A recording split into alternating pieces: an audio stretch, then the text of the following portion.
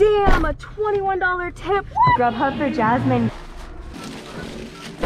Everybody? Happy Monday and welcome back to my car. I am so excited for today's video because we are finally trying Grubhub. I have my package here with the Grubhub bag. I actually just finished a DoorDash order. It was a $6 payout for like 10 minutes and now I am sitting in a parking lot with DoorDash still on. I'm gonna get my thumbnail done. I'm gonna film this Grubhub intro and then I'm just gonna go back home, leave on Grubhub, leave on DoorDash, probably leave on Uber Eats too because why not? And I'm just gonna see what pops up. With that, let's just go ahead and see what Grubhub sent. Oh my God, it's so big. Damn. It's like a better DoorDash bag. Yay, this is like Christmas. This is so huge.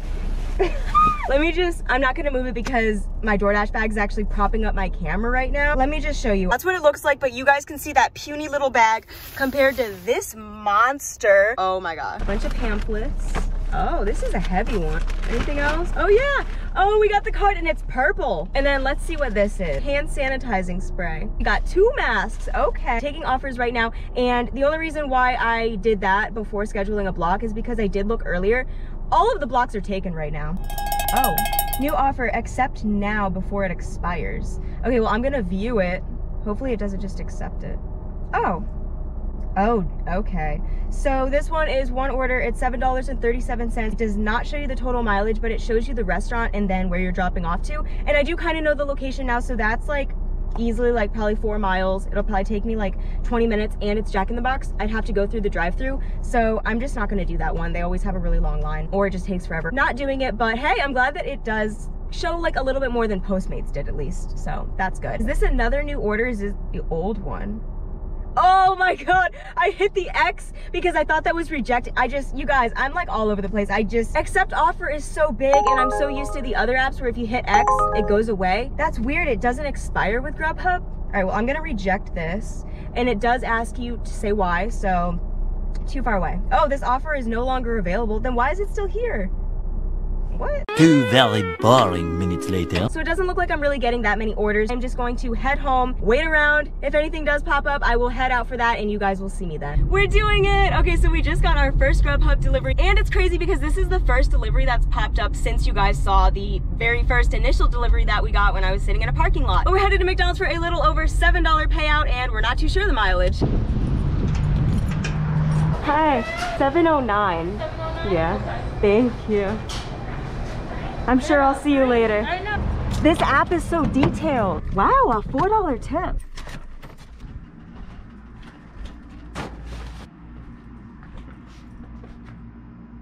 Oh my God, so quiet. I'm gonna stop here to gather myself and kind of collect my thoughts, see what's going on with this app because it is so different from DoorDash and Uber Eats. So different. It didn't even ask for a picture, but I took one on my own. Man, that's so weird. They don't even make you verify it or anything. They just kind of say, all right, drop it off and go. Let's just go ahead and check stride. I forgot.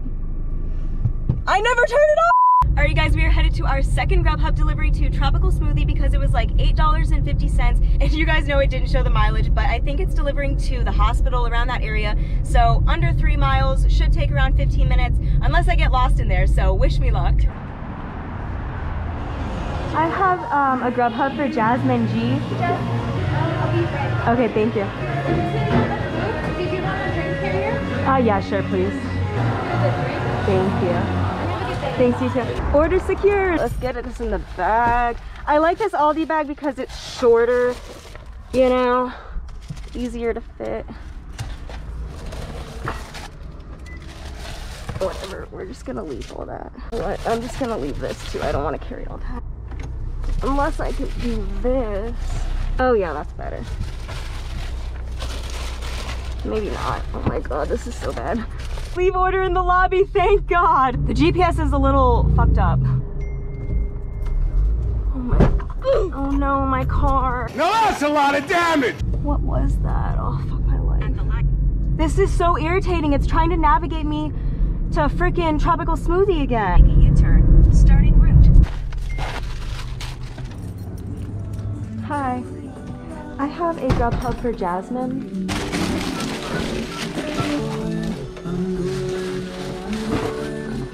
Yeah, no problem.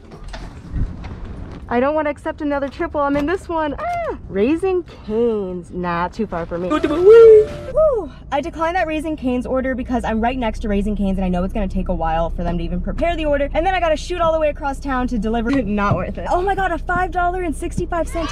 that is amazing! Oh my god. That order was a little bit stressful because GPSs are not my thing. I like probably fucked up my car. I didn't even look. I should. I'm not gonna look right now because I'm still like sitting in front of the customer's office trying to figure this out. But let's just go into the earnings and see like what the base pay was for that order and everything. I like how it shows you immediately, unlike Uber Eats. Okay, so for that order, it was the tropical smoothie one. We got the $5.65 tip and then we got paid around $3 for the base pay like we did with that other order. And I think it's cool how it shows you the breakdown for time and then mileage and then the customer tip. Super transparent. And with that, I'm just gonna go home and see what else pops up. All right, guys, we're off to our third Grubhub delivery and it is four o'clock. I have been doing a lot of DoorDash deliveries because Grubhub just hasn't really been popping. And every time I did a DoorDash delivery, a Grubhub order would pop up that was good, but I couldn't do it because I was right in the middle of delivering food. So in that case, whatever, you know, I had to decline those. But we're off to Sushi Bomb for a $24 order. Obviously, it doesn't show the mileage. I'm gonna guess it's around five miles tops, and it should only take like 20 minutes. So wish me luck. Hi. I, yep, a Grubhub for Tina E. Thank you. Same. Few moments later. Thank you so much. Thank you. Have a great day. Thanks, you too. Damn, a $21 tip. What? That is so good. What? The diner placed the order at 334 and I, what? How could no one pick that up? I don't get it. Yay, I can reach it.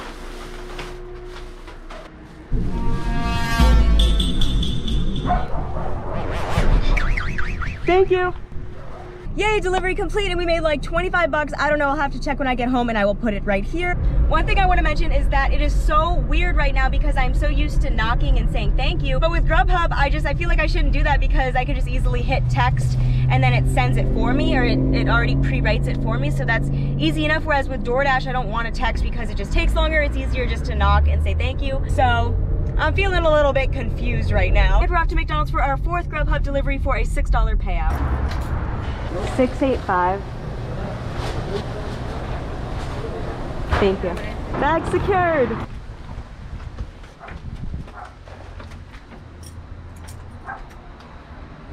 Thank you. I did it. I had to do it. I didn't even think about it honestly. I just I went to go knock and say thank you or ring and say thank you and I did it. And now a new order's popping up.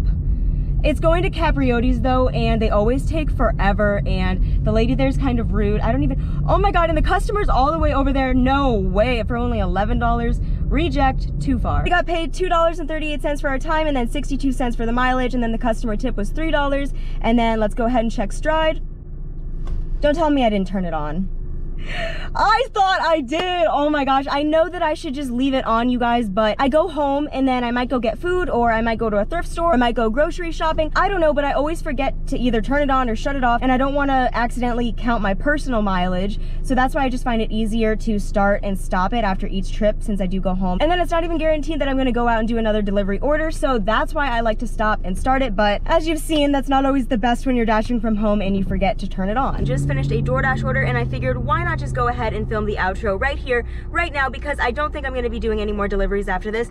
It's getting dark. I do not wanna dash in the dark or Grubhub in the dark just because I don't wanna get scammed, robbed, attacked, who knows? I just don't wanna deal with it. With that, I do really like Grubhub. It wasn't as poppin' as DoorDash, so I won't be able to solely use Grubhub, but that's okay because I like DoorDash anyways. Uber Eats, still the side hoe, not too sure about that one yet. I just, I mean, I feel like you don't really get too many good orders, whereas Grubhub, oh my god the payouts are great. Obviously yes there's some shitty trips too. We had a lot of those today. But for the most part i didn't get too many orders. It was either a great order or a horrible order. Whereas doordash you get everything in between. Grubhub you know i didn't get as many orders as i thought but that could have been because i wasn't really scheduled all day. Once i was scheduled later in the day i did notice myself getting more orders. So i'll have to try that out later throughout the week and schedule myself more often just to see if i do get more trips. I hate how as soon as you go into earnings it tries to send you into the next day. It's like why it's not even the next day. If you go to June 15th, which is today, I earned $46.58 and I really wish that it showed you your total like active time, online time, whatever, but it doesn't. That's okay. I'm gonna go to earnings history though and show you guys that. Damn, so here you can see every single order that I got. It probably took me an hour, hour and a half collectively with Grubhub and then let's just go ahead and check DoorDash Okay, so I just ended my dash and it says that I earned $38.50 in 9.4 hours, but that's not true. I was dashing from home, so I just, I don't count that. I'm never usually sitting in a parking lot unless it's to finish an order, film an intro, or do a thumbnail, or get the outro done. Other than that, I'm sitting at home. With DoorDash, we earned, what was this other? I don't know what that is. I've never even, that's the first time I've seen that. Tuesday, June, that's what I got today. $6.87 and it just says other. I don't know. That's super freaking weird. Okay, well, I'm not really sure what that $6.87 other payout was, but let's just go ahead and see what we made. Um, so we earned $38.50 in an hour and 17 minutes. So hell yeah, that's right around $30 an hour. That's what I like to go for. Obviously 40, 50, that would be amazing. That would be insane, but that's when you're banging out orders left and right. You got those high tippers, short distance trips, but today was kind of slow and I did decline a lot of DoorDash orders just because I wanted to just wait around for Grubhub orders. So I could have made more with DoorDash today. I just chose not to for the sake of you guys, just so you could see what Grubhub was like. And during that time, I didn't get any Grubhub orders either, so I should have just taken those DoorDash orders in hindsight, but that's okay. Today's been a whole learning process like it usually is when I try out apps for the first day. So in total, today we earned $85.08. An hour and 17 minutes was on DoorDash. I don't know how long I spent delivering for Grubhub, but let's just go ahead and say an hour and a half. $85 for a day just sitting at home, doing whatever I wanted, and then going out and about only when I wanted to. Why not? I'll take it. That's how I like to work. I know a lot of you guys, you know, might not agree with it in the comments, but that's why I urge you to find whatever works best for you.